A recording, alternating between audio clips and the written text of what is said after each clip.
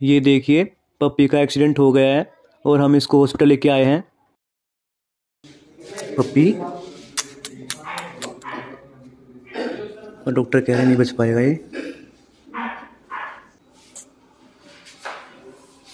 बेचारी पेट शायद इसके पेट पे टायर चढ़ा है इसके ना? पता कर तुमने पेट टायर कहाँ चढ़ा है इसके पेट पे? मैं करेगी। पार नहीं हुआ ब्लड निकल रहा है अभी भी। अभी डॉक्टर दूसरे डॉगी के पास गए हुए हैं। जैसे वो आ जाएँगे, पहले इसको इंजेक्शन लगवाएँगे ताकि इसका ब्लड रुक जाए, क्योंकि इसका ब्लड बहुत ज़्यादा बह चुका है। फिर इसको दूसरे हॉस्पिटल में लेके जाएँगे। वो साउथ एक्स में पड़ता है, कम से कम यहाँ से आधा घंटा लग जाएगा हमें पहुँचने में। अभी डॉक्टर कह रहे हैं इसका एक्सरे होगा तो इसको प्राइवेट हॉस्पिटल में लेके जाना पड़ेगा, वहीं पर इसका एक्सरे होगा। फिर डॉक्टर बताएँगे इसकी कंडीशन क्या है।